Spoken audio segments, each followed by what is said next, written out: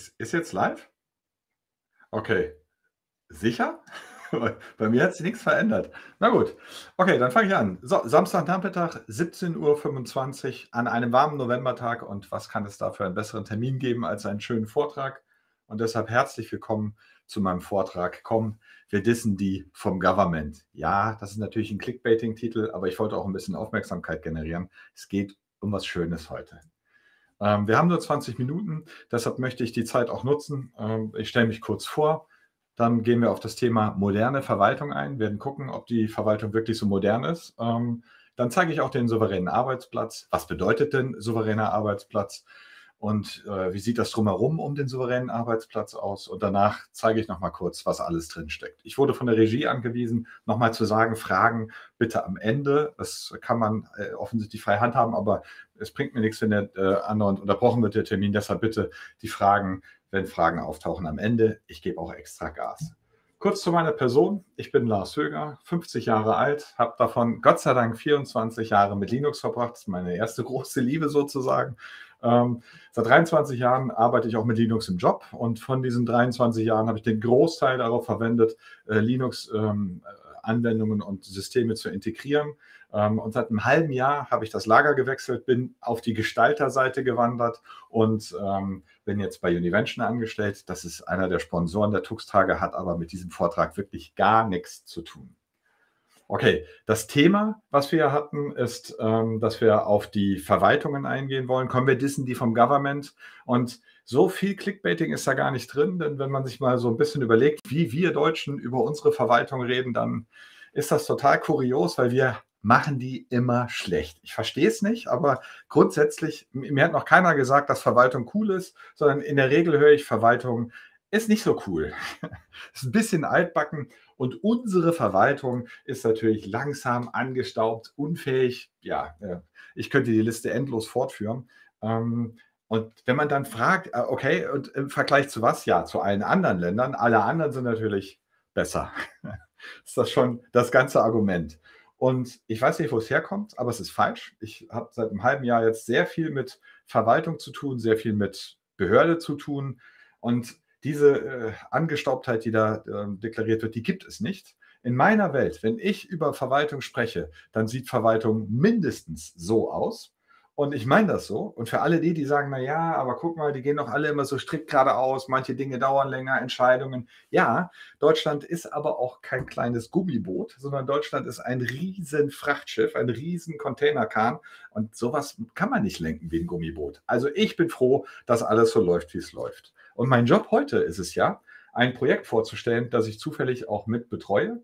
Und äh, in dem Zusammenhang möchte ich aber auch gleich so ein bisschen den Staub aus den äh, Köpfen wehen lassen oder wegfegen, ähm, der in, in den Bildern der Verwaltung liegt quasi. Und ich zeige euch mal, wie die Verwaltung oder wie, wie Deutschland mit dem Thema äh, digitale Souveränität umgegangen wird. Aber Vorsicht, das kann ich nur tangieren, weil wir nur 20 Minuten haben. Und es wäre ja blöd, wenn ich das jetzt alles dafür ver, äh, verbrate. Aber gut, Thema digitale Souveränität ist seit hm, ein paar Jahren sehr, sehr ähm, populär, auch in den Verwaltungen sehr populär. Wer der Auslöser war, komme ich später zu. Aber was heißt denn das, dass, ähm, äh, über, wenn die über äh, digitale Souveränität reden, na, also wir schauen uns mal an, was in den letzten paar Jahren maximal aus dem äh, Nichts gestampft wurde. Die deutsche Verwaltungscloud-Strategie, das ist ein riesen Pamphlet, das ist, eine, äh, das ist wirklich, das müsst ihr euch auf der Zunge zergehen lassen. Ich empfehle jedem mal, der auch ähm, beruflich damit zu tun hat, mit, mit Cloud-Strategien auf die Seiten des BMI zu gehen und tatsächlich mal unter der digitalen Souveränität das Thema DVS sich durchzulesen, auch warum die welche Entscheidungen gefällt haben. Das ist schon beeindruckend. Zendes, äh, Leuchtturmprojekt in meinen Augen. Äh, das Zentrum für digitale Souveränität in der öffentlichen Verwaltung. Da wird sehr klar koordiniert, warum welche Software, Open Source Software eingesetzt wird. Der Andreas Reckhardt Lodde hat mal einen ähm, äh, Podcast gemacht. Muss man googeln. Ich habe leider nicht so viel Zeit, dass ich jetzt hier noch alles äh, erklären kann, aber äh, auch das wird auf den Seiten vom BMI hervorragend erklärt. Dann Open Code, auch Hammer. Open Code ist eine Open Source Plattform der öffentlichen Verwaltung. Das ist ein Repository. Da könnt ihr drauf, da könnt ihr euch registrieren und dann seht ihr, was da passiert. Also nicht meckern und sagen, das ist alles blöd. Ruhig mal aktiv hingehen und ruhig mal aktiv gucken. Ja. Und dann haben wir natürlich so ein kleines Highlight, das ist ja der Grund für diesen Vortrag, der souveräne Arbeitsplatz. Moderner, Open Source Software basierender Arbeitsplatz. Das ist das, was ich Gott sei Dank betreuen darf. Ich liebe Linux, ich liebe Open Source. Das kann gar nicht besser werden.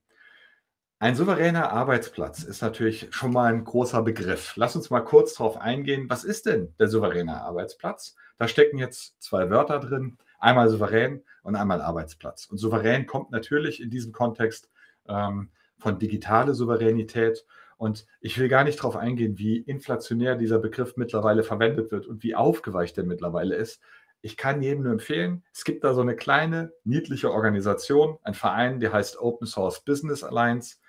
Das ist so, das ist so die Gallier, die übrig geblieben sind quasi. Ähm, und die haben vor ziemlich genau fünf Jahren das Thema Open, ähm, äh, digitale Souveränität aufgegriffen. Und zwar als Strategie gegen die ganzen Bedrohungen, die wir haben. Nicht um einen Stempel zu haben, sondern tatsächlich, um mal herauszufinden, was können wir tun, um auf gewisse Themen aufmerksam zu machen und wie können wir dagegen angehen, welche Strategien können wir entwickeln. Und da war die digitale Souveränität einer der wichtigen Punkte. Und die haben eine sehr schöne Formulierung oder eine sehr schöne Definition gefunden. Die müssen wir jetzt leider einmal durchkauen. Digitale Souveränität ist die Fähigkeit einer Organisation oder eines Individuums, selbst und sicher bestimmen zu können, wer unter welchen Bedingungen mit welcher Software und für welchen Zweck auf die eigenen Daten zugreifen kann. Amen. Das ist wichtig. Ähm, dass, wenn man das sacken lässt, äh, lässt, dann äh, steht da eigentlich, ich darf jederzeit überall reingucken und ich darf mir jederzeit überall angucken, wo denn meine Daten verarbeitet würden werden. Und das bedeutet, ich brauche Transparenz. Und das bedeutet, es muss Open Source sein. Und das finde ich ja schon wieder richtig gut. Okay, also wir reden über einen souveränen Arbeitsplatz, der mit digitaler Souveränität um die Ecke kommt. Und das kann man nicht schlecht reden. Vielleicht lockt es einem nicht hinterm Ofen vor, aber schlecht reden kann man es nicht. Digital souverän, das ist schon ein erstrebenswerter Zustand und er ist sehr, sehr, sehr umfangreich. Und ich bin sehr froh, dass das auch alles so gemacht werden soll. Okay, kommen wir zu dem zweiten Begriff. Und ich weiß, der eine oder andere wird jetzt Bauchschmerzen haben. Souveräner Arbeitsplatz. Open Source Technologie. Puh, Leute, Leute, jetzt warum, warum wollen wir denn den Arbeitsplatz ändern? Ohne Scheiß. Komm, wir haben, es läuft doch. Warum nehmen wir nicht den Standard? Es, äh, Exchange läuft, komm bitte. Ich kann mit meinem Outlook super arbeiten. Ich kann mit Teams, muah, es läuft. Mein Windows, ich weiß genau, wo es ist. Na komm, ich komme damit gut klar, bitte, bitte. Und lass uns mal drüber reden, was ein Arbeitsplatz denn überhaupt sein muss. Vielleicht können wir ja auf die Idee verzichten. Ich brauche nur ein paar Mails, komm ehrlich, ein paar Termine, vielleicht ein paar Videokonferenzen, jede Menge Office, okay. Und ich muss auch eine große Portion Kollaboration da drin haben. Aber mehr brauche ich doch nicht. Und ich habe das doch schon alles, läuft doch alles. Und wisst ihr was? Das Allerwichtigste, bitte, bitte in schön, bitte nicht so ein scheiß Gefrickel, bitte, bitte nicht. Ich will kein Libre Open, damit kann ich nie arbeiten. Wenn ich damit meine Open, äh, meine äh, Word-Dokumente öffne, die fliegen mir um die Ohren, das ist wie ein Schlag ins Gesicht. Das muss funktionieren, ich kann so nicht arbeiten. Soll ich meine Fotos mit GIMP öffnen? Jetzt auf einmal?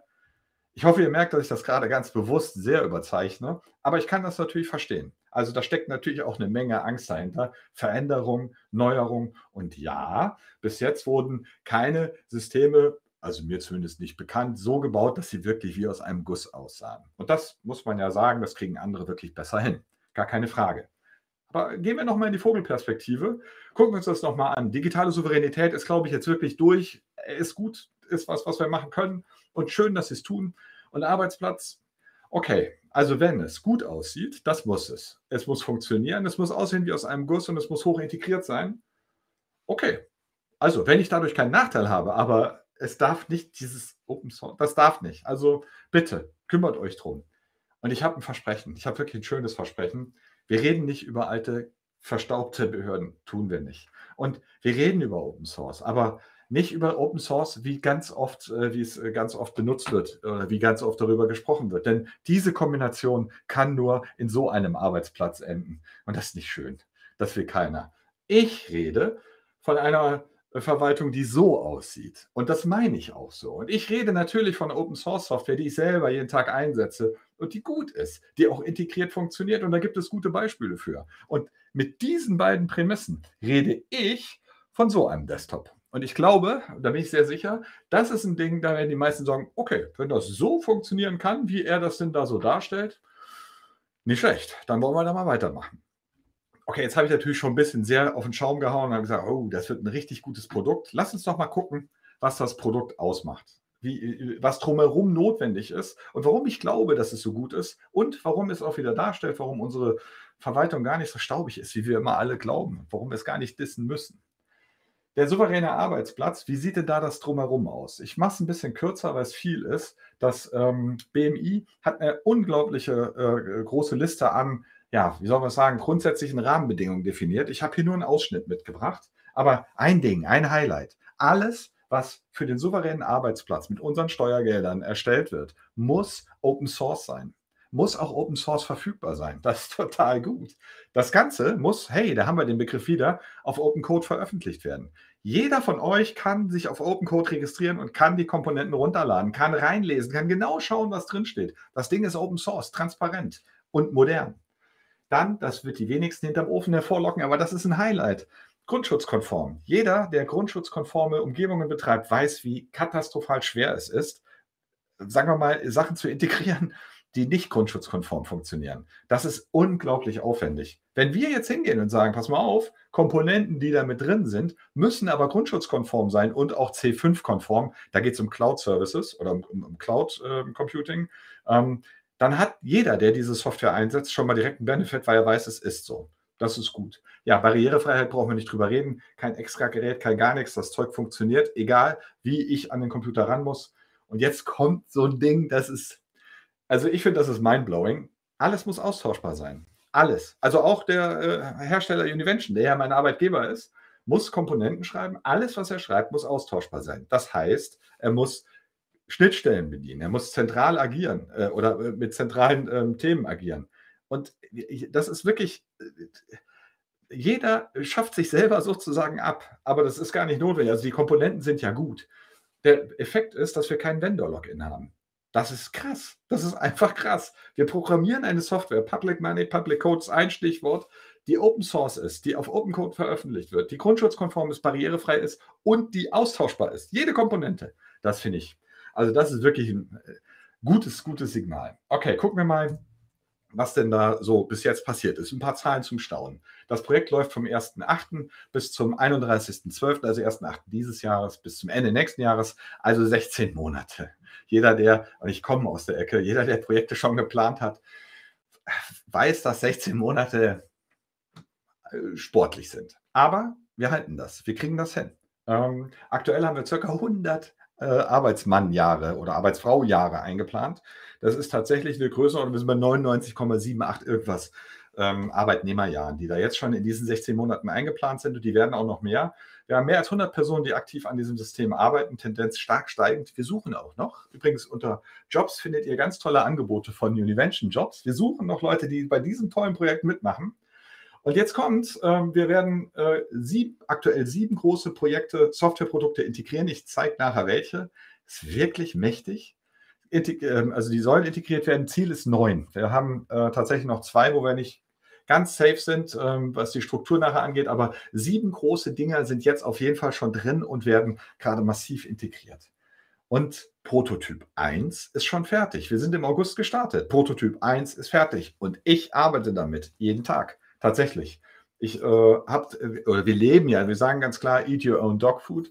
Und ich finde das eine gute Einstellung. Und das gesamte Projekt, wirklich das ganze große Projekt, wird schon über diese Komponente oder eine Komponente, die ich nachher nenne, ähm, des souveränen Arbeitsplatz ähm, äh, quasi geplant. Und natürlich werden auch alle Dokumente über diesen souveränen Arbeitsplatz von meiner Seite schon direkt äh, äh, ja, geschrieben und verfasst.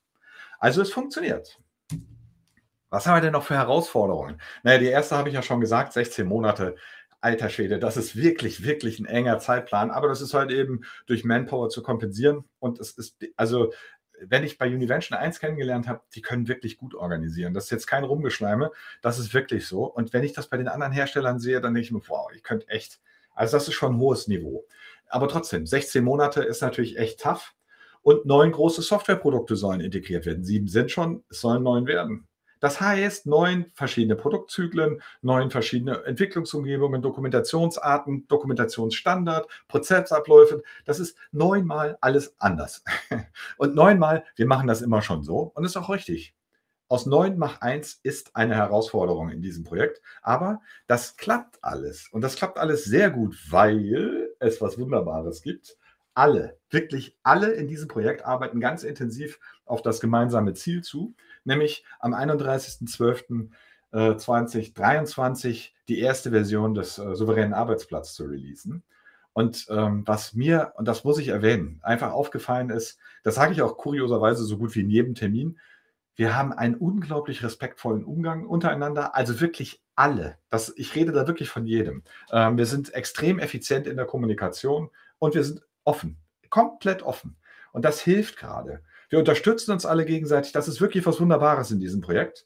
Und ja, wir sind natürlich, und vor allen Dingen ich, wir sind absolut davon überzeugt, dass der äh, Sovereign Workplace oder der souveräne Arbeitsplatz ein absolut großer Wurf wird. Wirklich. Das wird ein Gamechanger. Und in Europa gucken schon einige Länder auf uns und sagen, oh, was machen die denn da? Das ist wirklich gut.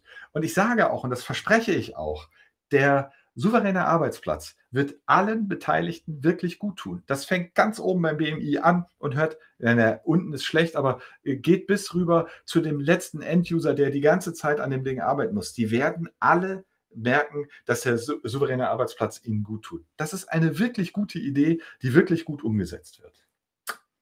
Das habe ich schon ein bisschen sehr auf den Schaum gehauen, aber es ist auch wirklich ein tolles Projekt. Ich glaube, es wird Zeit, und ich bin froh, ich bin tatsächlich gut in der Zeit. Ich glaube, es wird Zeit, mal so ein bisschen den Vorhang zu lüften. Eins muss ich gleich vorausschicken. Wie, gesagt, die Prototyp-Umgebung steht, die darf ich aber noch nicht zeigen. Das hat Gründe, die ich jetzt auch nicht nennen muss. Aber ich kann euch sagen, was reinkommt. Und ich kann euch auf der Tonspur nochmal mitbringen, was das auch alles bedeutet. Und ehrlich, ich weiß, ich schwör's, es gibt bestimmt drei, vier draußen, die gerne mit mir tauschen möchten, weil ich sehe manchmal Sachen, Hammer. Okay, los, was ist drin? Ah, nix. Doch, erstes Highlight, Open Exchange ist drin. Open Exchange ist aktuell in der Version 7.5 irgendwas draußen. Und ähm, ich habe wirklich eine schlechte Nachricht. Ich habe die 8.0 gesehen, die ist so krass gut. Ich muss es auch genauso sagen. Die ist, ich habe noch nie so eine geile äh, Software gesehen für einen Mail-Server oder einen Mail-Client.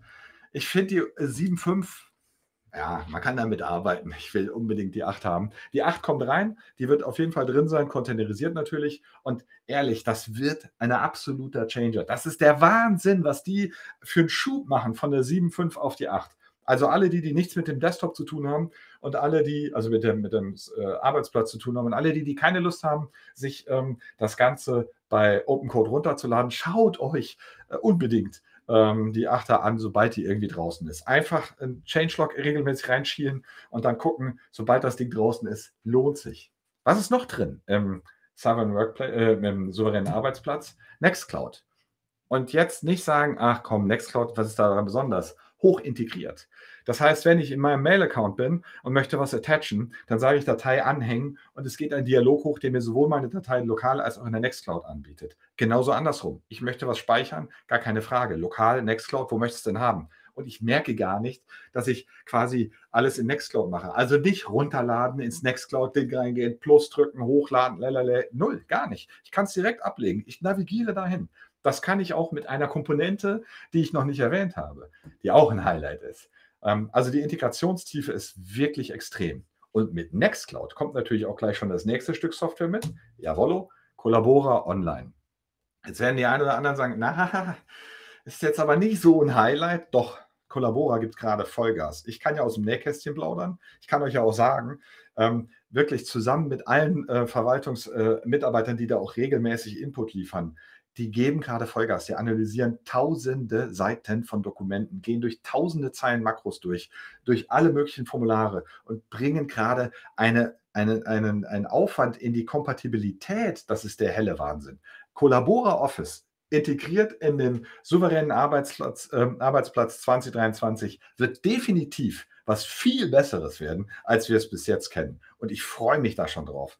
Und auch Collabora sind Leute, also das ist wirklich ein Highlight, mit, mit so, so, Leuten zusammenarbeiten zu dürfen. Nächstes Thema, Element ist drin. Element als ja, Chat- oder Kommunikationsebene. Ähm, da basiert auf Matrix. Ey, das ist schon wirklich eine, eine, gute Nachricht. Und da, was ist da drin? Da ist drin ganz normal Chat, mit Chaträumen, die ganzen Kram, so wie man es kennt.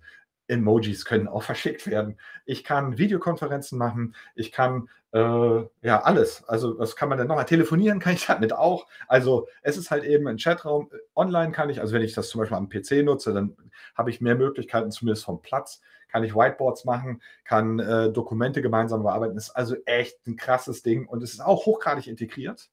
So, jetzt kommen wir zu meinem weiteren Highlight. Das ist mein persönliches Highlight, weil ich jeden Tag damit arbeite und ich liebe diese Software. Ich liebe alle anderen auch, aber es tut mir leid. Wahrscheinlich werden jetzt fünf zickig, aber ich mag Open Project. Ich muss es leider so sagen. Es ist einfach mal eine richtig gute Software. Ich steuere das ganze Projekt mit dieser Software und sie ist einfach, sie ist transparent, sie ist, ich kann es, es ist schön, wirklich schön. Schaut es euch an, nehmt es mit, wenn ihr es nicht äh, im äh, Desktop mitbekommt. Lohnt sich auf jeden Fall. So, ich will jetzt nicht noch weitermachen. Es kommt noch XWiki mit rein für Knowledge, also für, für Wissenstransfer. Da kann ich noch nicht ganz so viel sagen, weil XWiki ist jetzt gerade in der Onboarding-Phase ähm, und da werden wir jetzt relativ schnell eine Gap-Analyse erstellen, also gucken, okay, du bist drin, was fehlt noch? Aber auch die hauen schon richtig in die Tasten. Ist auch ganz toll der Kontakt. Naja, und last but not least, das Ganze wird im Moment noch zusammengehalten. Es ist ja alles austauschbar. Ich hoffe, es wird für immer so zusammengehalten. Natürlich ist der Univention Corporated Server im Hintergrund. Also das Portal von Univention ist im Hintergrund und das Identity Access Management ist im Hintergrund. So, summa summarum haben wir hier wirklich große, namhafte Hersteller. Open Exchange hat 220 Millionen Mailkonten, die die verwalten. Die wissen, wie man skaliert. Nextcloud, jeder kennt es. Collabora, die geben gerade Vollgas, um kompatibel zu werden. Office können die. Jetzt wollen sie nur kompatibel werden. Element, etabliert und gut. XWiki, wahrscheinlich sehr, sehr gut. Open Project, Mehr, mehr darf ich aber nicht machen, sonst werden alle anderen eifersüchtig. Und Univention, klar, super Arbeitgeber übrigens, aber Univention natürlich eine ganz etablierte und gute Software. Das war's von meiner Seite. Ich freue mich. Ich hoffe, dass wir uns in einem Jahr wiedersehen. Das möchte ich an der Stelle ankündigen. Ich will nämlich dann zeigen, wie weit wir gekommen sind. Ich habe jetzt sehr, sehr viel Werbung gemacht. Wenn Fragen da sind, bin ich jetzt für Fragen da. Ansonsten sage ich äh, vielen, vielen Dank für die Aufmerksamkeit und ähm, bitte Fragen stellen, wenn welche da sind.